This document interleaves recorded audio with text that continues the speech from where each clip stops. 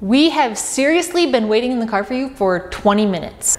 You know, sometimes spending time with my tools can put a strain on my most important relationships. That brings us to this video today. Mother's Day is right around the corner and unlike most guys, I really haven't done anything to prepare. But we're gonna save the day by building a planter box she's gonna love with all these tools. This box can be built in many sizes. I've measured the target location and I'm gonna build mine 10 inches wide, 28 inches long, and right around a foot tall. Now to build this, I'm gonna have a frame made out of some one and a half inch angle iron and then the side there will be panels out of this galvanized corrugated roofing panel that will just give it a nice textured look.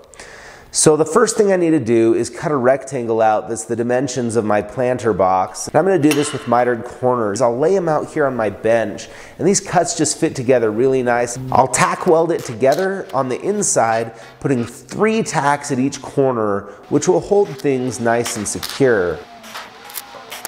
Now that I've done that, I need to work on my legs, the corners of this frame. I'll set each of these pieces on the corner and make sure everything's looking right. And I need to position it so that it's square in two directions. For one direction, I'm gonna use this switchable magnetic square. I really like these to hold things in place.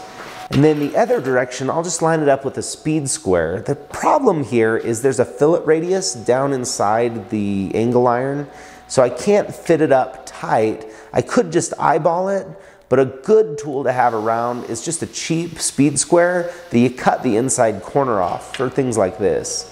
Once those are lined up square, once again, I'm just putting three tacks in place to hold them securely until I get the rest of the frame built. So this project's coming together really well. I'm gonna flip it over the way that it'll sit.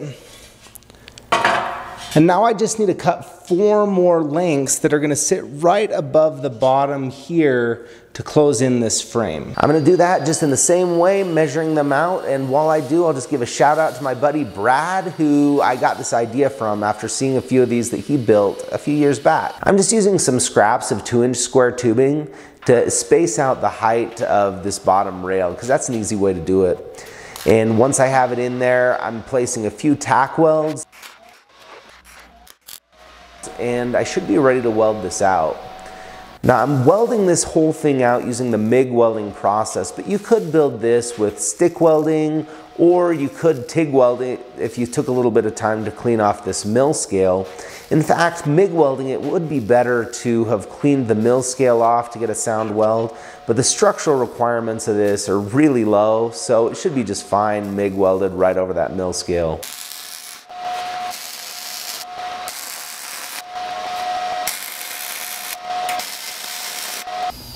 Now because I want a nice smooth appearance on this, I'm gonna grind down any face reinforcement that I have from these welds till I get a nice smooth frame. I need a way to keep the dirt from falling through the bottom, but I want to allow some water to drain through.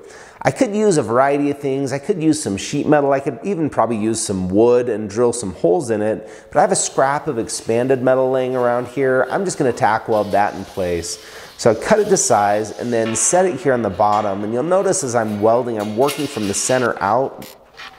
Anytime you're welding in any kind of sheet metal to a more rigid structure, working from the center outwards keeps you from getting a bow in the material at the end of the day. Now you could leave this frame just natural or grind it down and let it rust, but I'm gonna paint mine flat black because I think that'll have a really unique contrast with those galvanized panels. After getting a few coats of paint on here, I need to cut my panels to size. I'm just using a circular saw with the right blade on there, but you could also use an angle grinder with a cutoff wheel or even just some snips. Now that the panels are cut to size, I can set them in place. I'm not gonna do anything to fasten them in there. I'm just gonna rely on the dirt and rocks that I put inside to hold them in place. That way I'll be able to scoop everything out and replace these panels in the future if I need to.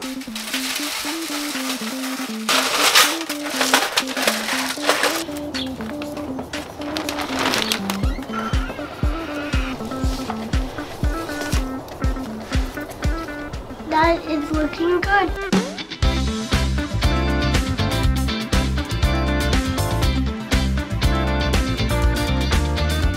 Now, I'd like to surprise her. We still have a few days till Mother's Day, but it's not gonna happen because you know what? She edits these videos, so she's gonna see all this. So let's just see what she thinks about it now.